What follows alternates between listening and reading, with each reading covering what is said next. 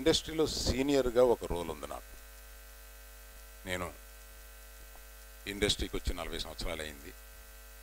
మా తండ్రి గారు అల్లు రామలయ్య గారి దగ్గర నుంచి ఆ తర్వాత తరంలో నేను చిరంజీవి గారి దగ్గర నుంచి ఆ తర్వాత తరంలో పవన్ కళ్యాణ్ దగ్గర నుంచి మిగతా అందరూ ఇలాగా కొన్ని తరాలుగా ఈ ఇండస్ట్రీని ఆశించి ఈ ఇండస్ట్రీలో ఉండి ఈ ఇండస్ట్రీలోనే భోంచేస్తూ ఇండస్ట్రీని నమ్ముకున్న మాకు ఇండస్ట్రీ అంటే ఒక భక్తి గౌరవం ఒక మాతృత్వంతో కూడిన ఒక కృతజ్ఞత ఇవన్నీ ఉంటాయి. దాన్ని రిప్రజెంట్ చేస్తూ ఈ మధ్య ఇండస్ట్రీలో జరుగుతున్న ఒక బాధాకరమైన సంగతులు మీకు తెలిసినవే. శ్రీరెడ్డి గారు తీసుకొచ్చిన కొన్ని విషయాలు. ఆ విషయాలపై మేము ఫిలిం ఛాంబర్ బిల్డింగ్లో ఇదే బిల్డింగ్లో ఇప్పటికీ నాలుగైదు మీటింగులు జరిగినాయి. ఒక దాంట్లో తప్ప మిగతా అన్ని మీటింగ్స్లోనూ నేను ఉన్నాను. ఇండస్ట్రీ శ్రీరెడ్డి చెప్పిన దానికి చాలా పాజిటివ్గా స్పందిస్తూ ఇండస్ట్రీలో రెండు రకాలు దీనికి సొల్యూషన్స్ అనుకుంటున్నారు. అది చాలా వివరంగా ఇండస్ట్రీ త్వరలో పెట్టబోయే ఒక మీటింగ్లో మీకు చెప్తారు. కానీ నేను బ్రీఫ్గా చెప్పి నేను వచ్చిన నేను తీసుకోవాల్సిన ఇంకొక రోల్లోకి వెళ్తాను. ఇండస్ట్రీలో ప్రతి పెద్ద సంస్థ ఒక కమిటీని పెట్టుకోవాలి. ఈ కమిటీ ఇంటర్నల్గా ఎగెన్స్ట్ సెక్షువల్ హెరాస్మెంట్ జరుగుతున్న దానికి ఇంటర్నల్గా ఒక కమిటీని పెట్టుకోవాలి. ఇది ప్రభుత్వం ని- నిర్ణయించిన కొన్ని నిబంధనల ప్రకారం అది చేయాలి. ప్రతి సంస్థ ఇది పెట్టుకోవాలి. ఆ వివరాలు మీకు ఇండస్ట్రీ నుంచి వచ్చిన వారు చెప్తారు. అంటే వన్ టూ డేస్లో మిమ్మల్ని అందరినీ పిలిచి ఏమేమి జాగ్రత్తలు ఇండస్ట్రీ తీసుకుంటుంది అనే దాని మీద మీకు వివరించి చెప్పబోతున్నారు. రెండోది ఇండస్ట్రీ ఒక చాలా మంచి పని చేయబోతుంది. ఏంటంటే ఫిఫ్టీ పర్సెంట్ అవుట్ సైడర్స్ ఎన్జిఓస్ని తీసుకుని ఫిఫ్టీ పర్సెంట్ ఇండస్ట్రీలో ఉన్న మహిళలతో కలిపి తీసుకుని ఒక రిట్రసల్ కమిటీని ఒకటి ఏర్పాటు చేసి ఎవరైనా ఒకళ్ళు వాళ్ళకి ఇటువంటి వేధింపు సంభవించింది అని ఇక్కడ చెప్తే దాన్ని సీక్రసీతోటి ఈ కమిటీ దాన్ని విచారించి దాన్ని ఇన్వెస్టిగేట్ చేసి అటువంటి నిర్మాత ఎవరైనా ఆ పని చేస్తే నిర్మాత మండలి నుంచి అతను తొలగించటం అటువంటి డైరెక్టర్ ఎవరైనా అటువంటి పని చేసినా అసిస్టెంట్ డైరెక్టర్ పనిచేసినా వాళ్ళని అందులో నుంచి తొలగించటం ఇటువంటి కార్మికులు ఎవరైనా వాళ్ళ ట్వంటీ ఫోర్ క్రాఫ్ట్స్లో జరిగితే వాళ్ళని అందులోంచి తొలగించటం ఇటువంటి చాలా మంచి నిర్ణయాలు కొన్ని తీసుకుని ఆ కమిటీ ఏం చేయబోతుంది అని మీకు వివరించబోతున్నారు. అది ఆ ఆ కాన్స్టిట్యూషన్లో అలా ఫామ్ చేయడంలో నేనున్నాను. నేను కూడా అందులో ఉన్నాను చెప్పడానికి ఇష్టపడుతున్నాను. ఇది ఇండస్ట్రీ తీసుకుంటున్న జాగ్రత్త. అంటే ఇండస్ట్రీలో ఉన్న దీన్ని ఇండస్ట్రీ పెద్దలు గ్రహించి దానికి ఒక నిర్ణయం తీసుకుంటున్నారు. రిడ్రెస్లు చేయడానికి. అది ఒక పాత్ర. నేను ఇండస్ట్రీ సీనియర్గా. రెండోది నేను ఇండస్ట్రీలో ఒక మెగా ఫ్యామిలీకి సీనియర్ మెంబర్ని. నేను కొంత బాధ్యతతో వ్యవహరిస్తూ కొంతమంది మీడియాలో కొన్ని మాట్లాడినా కూడా ప్రతిదానికి స్పందించకుండా నిగ్రహంతో పెద్ద మనిషిగా ఉంటూ వచ్చా కానీ ఈ మధ్య కొన్ని విన్న తర్వాత చూసిన తర్వాత నా ఆగ్రహం కానీ ఆవేశం కానీ బాధ కానీ ఇవి తట్టుకోలేక ప్రొద్దుట మా పిఆర్ఓని పిలిచి ఓ ప్రెస్ మీట్ పెట్టవయా మాట్లాడాలి అని చెప్పాను. ముఖ్యంగా నేను టార్గెట్ చేస్తున్నది రామ్ గోపాల్ వర్మ. రామ్ గోపాల్ వర్మ అనే అతడు ఈ ఇండస్ట్రీలో పెరిగి ఈ ఇండస్ట్రీలోనే మొదటి సినిమా గొప్ప సినిమా తీసి దానివల్ల పేరు ప్రఖ్యాతులు సంపాదించి ఒక ఆల్ ఇండియా డైరెక్టర్గా వెళ్ళి బాంబేలో సెటిల్ అయ్యి అక్కడ అంటే అతను తల్లిగా భావించాల్సిన ఈ ఇండస్ట్రీ ఈ తెలుగు ఇండస్ట్రీ తన తల్లిగా భావించాల్సిన ఇండస్ట్రీకి అతను ఎంత ద్రోహం చేస్తున్నాడో అతను ఎటువంటి నికృష్టుడో నేను చెప్పటానికి మీ ముందుకు వచ్చాను అదేంటంటే రాత్రి ఒక వీడియో చూశాను. ఈ ఈ వీడియో చూడడానికి ముందు ఏడు గంటలకి ఒక హీరోతో మాట్లాడాను. మా ఫ్యామిలీలో కాని ఒక హీరోతోటి అంతకుముందు ఇద్దరు డైరెక్టర్స్తో మాట్లాడాను. ఎవరు కలిసిన ఇండస్ట్రీలో చాలా తలదించుకొని ఇండస్ట్రీ ఇవాళ అంటే మహిళలు కొంతమంది మీడియాకి ముందు వచ్చి వాళ్ళ బాధను వ్యక్తపరచడం ఇండస్ట్రీలో ఉన్న ఒక వర్గాల గురించి మాట్లాడడం ఇవన్నీ చూసి మన ఇండస్ట్రీలో ఇవన్నీ ఏమిటి ఇండస్ట్రీలో ఇండస్ట్రీకి ఇంత చెడ్డ పేరు వస్తుంది ఏంటి అని ఇండస్ట్రీలో సీనియర్స్ను ఇండస్ట్రీని ప్రేమించే వాళ్ళు కృంగిపోయి కృషించుకుపోయే అంతటి నీచంగా కొన్ని జరుగుతున్నాయి. అటువంటి బాధపడి అందరూ అందరూ బాధపడుతున్నారు ఇండస్ట్రీలో. ఇండస్ట్రీ ప్రస్తుతం తెలుగు ఇండస్ట్రీ ఇండియాలో ప్రపంచంలో ఎట్లా ఉంది?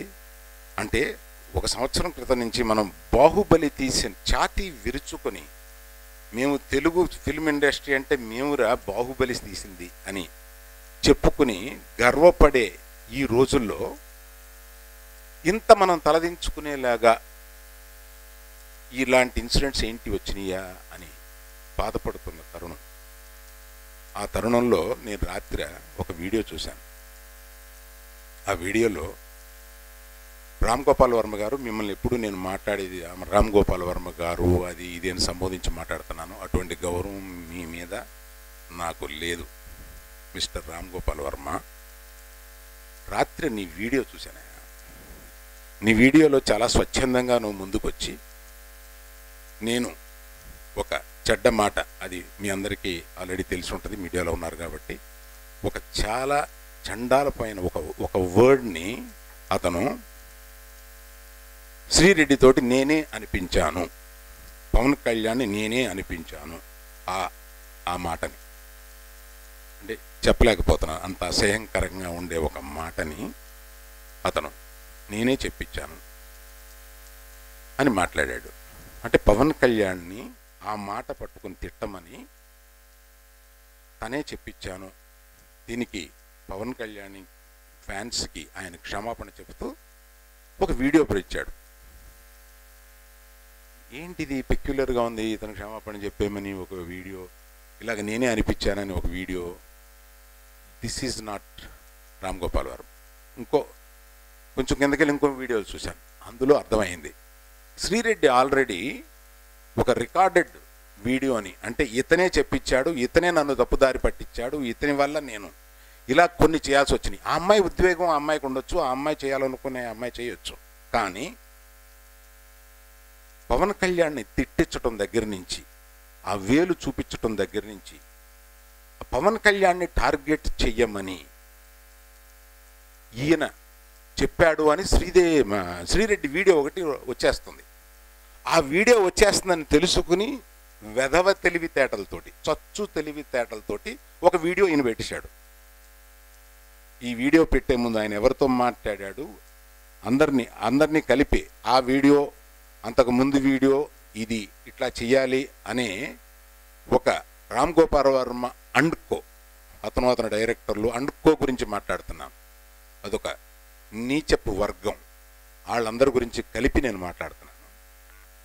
ఇది ఆ ముందు ఆ వీడియో వచ్చేయబోతుంది అని తెలుసుకుని అడావిడ అడావిడిగా తను చాలా ఏదో తనే ఇది చేశాను తనే ఇది అని తన స్వచ్ఛందత ఏదో చూపించుకోవడానికి మాట్లాడిన బూటకం వెదవ నాటకం అది.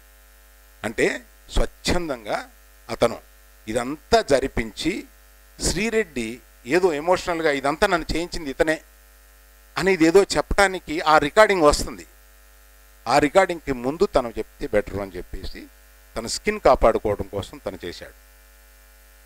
నేను అదే వీడియోలో సురేష్ ఫ్యామిలీ నుంచి శ్రీరెడ్డికి నేను ఐదు కోట్లు ఇప్పిద్దామని ట్రై చేశాను.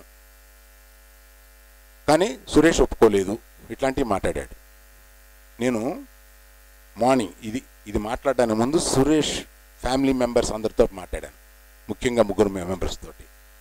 వాళ్ళెవ్వరూ hats off to them law of the ల్యాండ్కి మేము వంగుతాం తప్ప ఇవన్నీ వేస్ట్ ఇవన్నీ మేము.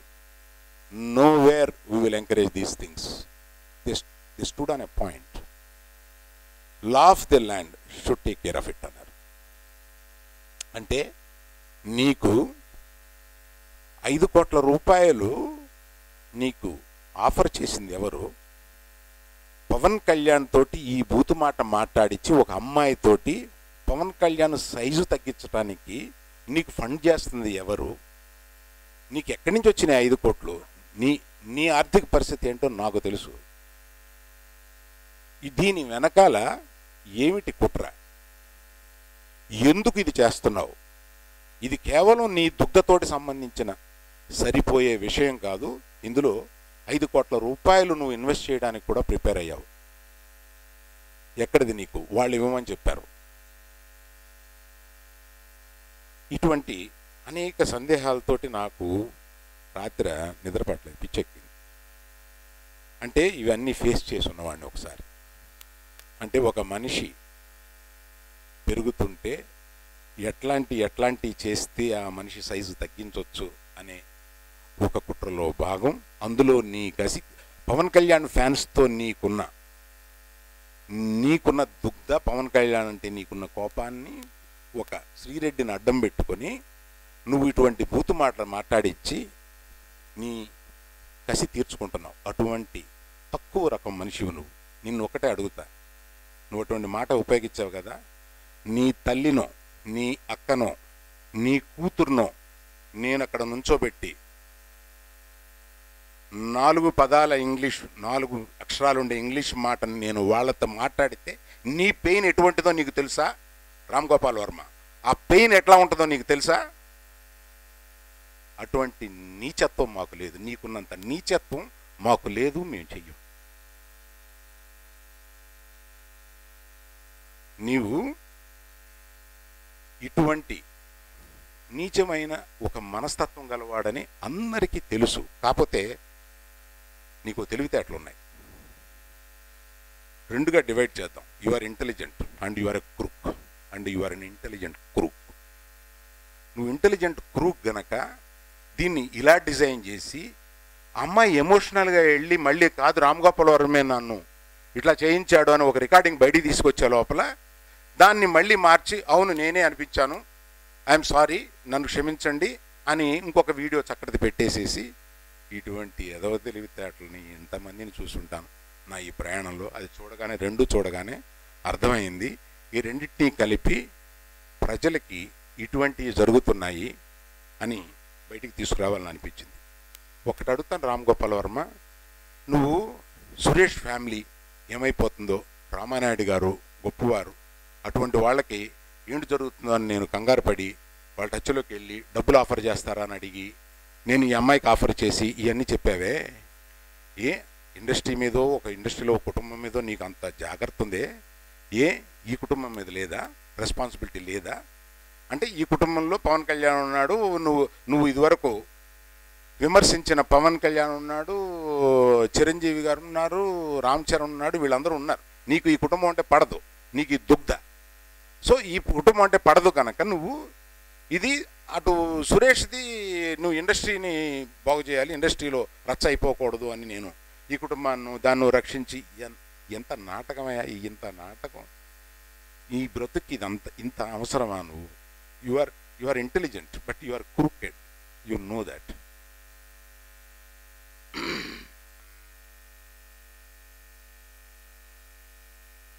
industry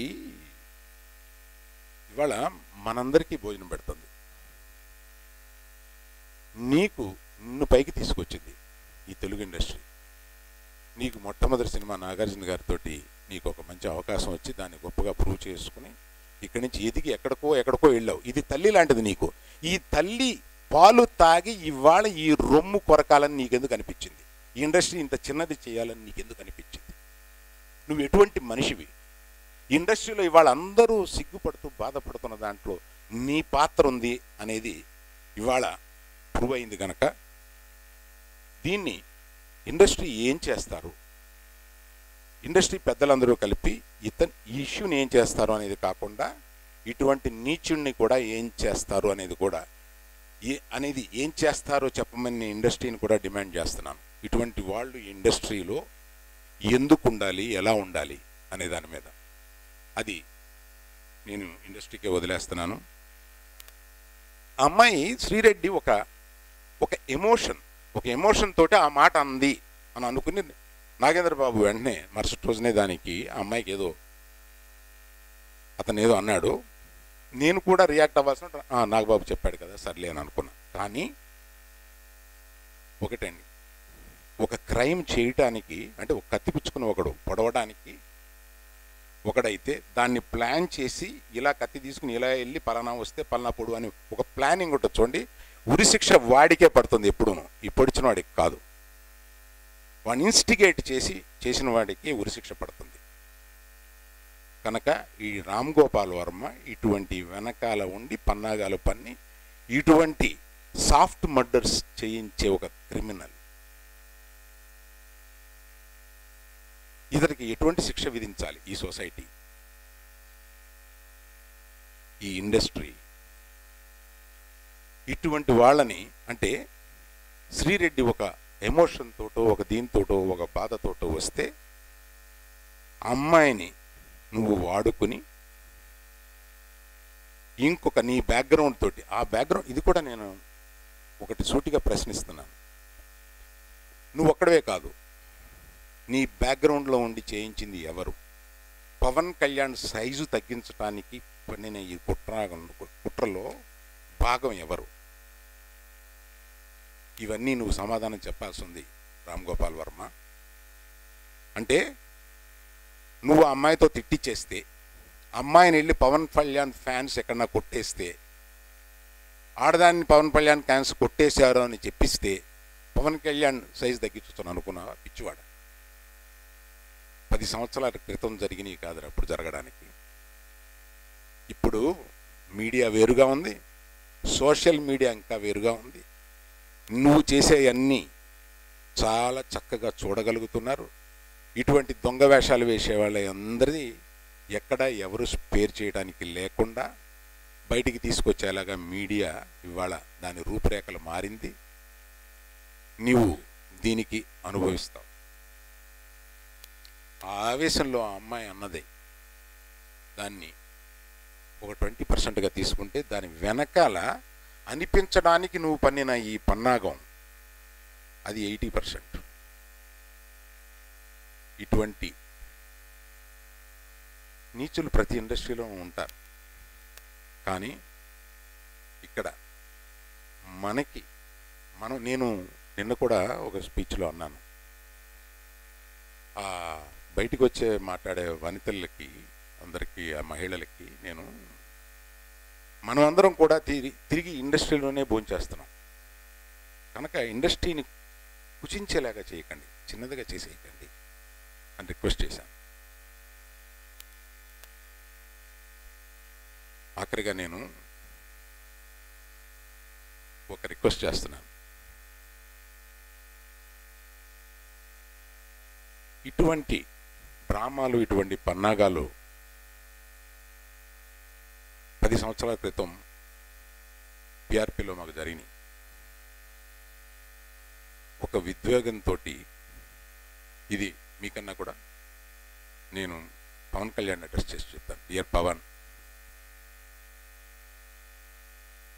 ఫ్యామిలీ షేడ్ పడకుండా ఒంటరిగా నువ్వు ఒక ఉద్యమం స్టార్ట్ చేసి ప్రజలకు ఉపయోగపడేలాగా నీకున్న ఆవేశాలేంటో నాకు చిన్నప్పటి నుంచి తెలుసు కాబట్టి అటువంటి ఆవేశంతో నువ్వు ఫ్యామిలీ షేడ్ పడకుండా ఒక్కడ వెళ్తున్నామని.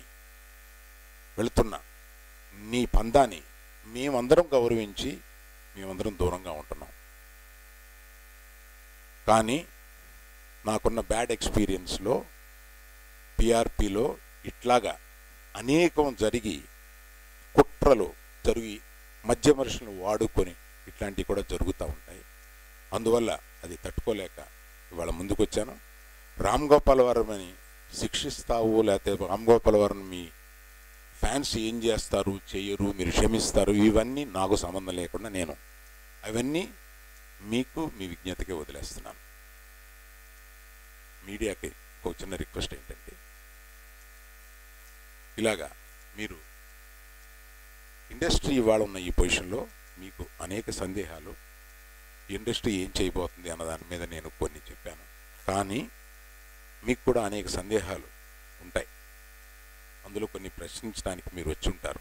కానీ నా రిక్వెస్ట్ ఏంటంటే నేను ఈ రెండింటి మీద ఫోకస్ చేయదలుచుకున్నాను. ఇండస్ట్రీ పెద్దగా ఒకటి చెప్పాను. ఇండస్ట్రీ ఏం చేయబోతుందో చెప్పాను. రామ్ గోపాల్ వరం అనే నీచుడు తన ప్రవృత్తి ఎటువంటిది? ఇటువంటి ఇండస్ట్రీ తన తల్లిగా ఫీల్ అయ్యే ఇండస్ట్రీకి తన తల్లి రొమ్ము గుద్ది చేసిన విషయం ఏంటో మీ ముందుకు తీసుకొద్దామని కూడా మీకు ఈ ముందుకు వచ్చాను కనుక మీ ప్రశ్నలు నేను తప్పకుండా ఇండిపెండెంట్గా తీసుకుని ఎవ్రీ క్వశ్చన్ని నేను ఆన్సర్ చేస్తాను. బట్ ఈ సందర్భంలో ఇది ఆన్సర్ చేస్తే ఎమోషనల్గా ఉన్నాను కోపంలో ఉన్నాను డిస్టర్బ్ అయి ఉన్నాను. మా కుటుంబంలో ఒక వ్యక్తి గురించి ఒక నీచుడు ఇట్లా మాట్లాడాడు అని ఒక ఆగ్రహంతో ఉన్నాను. ఈ టైంలో మీరు నన్ను ఏదన్నా ప్రొవకేటివ్ లాగా ఒక ప్రశ్న వేస్తే నేను ఆ సమాధానం ముఖ్యమైపోయి నేను చెప్పదలుచుకుంది చెప్పలేకుండా పోతానేమోనని ఈసారి ఈ ప్రశ్నలకి నేను సమాధానం చెప్పకుండా ఉంటానని చెప్పి మిమ్మల్ని దయచేసి నన్ను అటువంటి ప్రశ్నలు వేయొద్దని రిక్వెస్ట్ చేస్తూ ఆవర్తిస్తున్నాను మీ అందరూ దీన్ని ఇటువంటి కుట్రలకి ఇటువంటి ఇండస్ట్రీని చిన్నబుచ్చుకునే వీటికి సపోర్ట్ ఇవ్వకుండా ఉండమని కోరుతున్నాను. థ్యాంక్ యూ నమస్తే.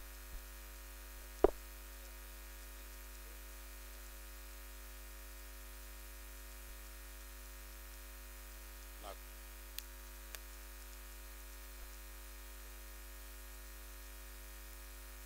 మీరు శ్రీరెడ్డి రిలేటెడ్గా అడుగుతారా? మీరు కాస్త అంటే జనరల్గా జనరల్గా నాకన్న ఎక్స్పీరియన్స్లో ఏం జరుగుతుందంటే మీరు మీరు అడిగిన ప్రశ్నల్లో నా సమాధానం ఒక హెడ్డింగ్ అవుద్ది. మీకు తెలుసు అది మీకు తెలుసు నాకు తెలుసు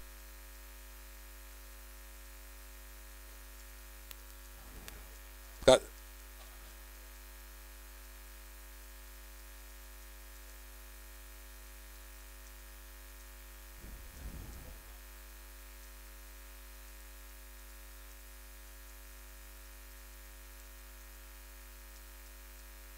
నేను రామ్ గోపాల్ వర్మ లాంటి క్రికెట్ పర్సన్ ఏదైనా చేయగలడు. ఏదైనా చేయగలడు. నాకు అందితే ఈ పార్టీకి ఆ పార్టీనో లేకపోతే వాళ్ళనో నేను ప్రశ్నించేవాడిని ఏమిటయ్యా మీరు చేసే పని అని. వాళ్ళ వాళ్ళు ఎవరో నాకు తెలియట్లేదు కానీ క్లియర్గా కనపడుతుంది. ఎవరండి ఐదు కోట్లు ఇస్తారు? ఎవరు ఇతనికి ఐదు కోట్లు ఇచ్చి ఇది చేస్తారు? డే వన్ సురేష్ వాళ్ళ family no. There is no bargain between us అని అంటే అమ్మాయిని. ఐదు కోట్ల రూపాయల మీద బేరం మీద పెడుతూనే వచ్చాడు. ఏంటిది? ఎక్కడిది?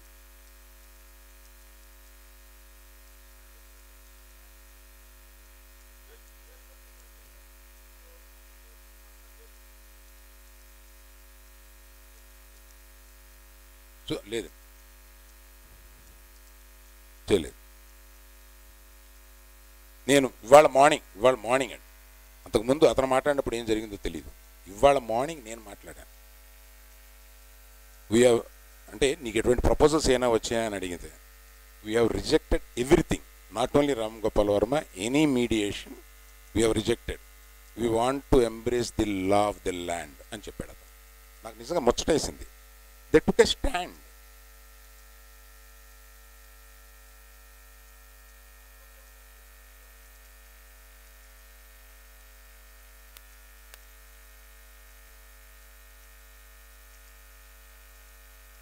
ఇది కోరడానికి నేను ఇండస్ట్రీ మొత్తానికి నేను ఒకటి కాదు కదండి.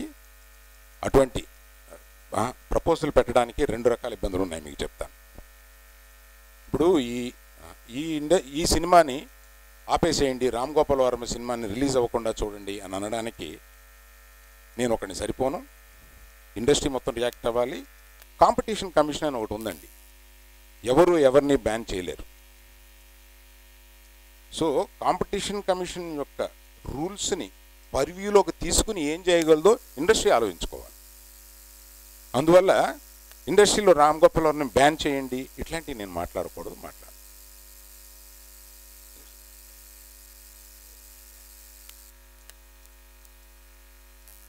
గుర్తులేదు గుర్తులేదు. భావిస్తున్నాను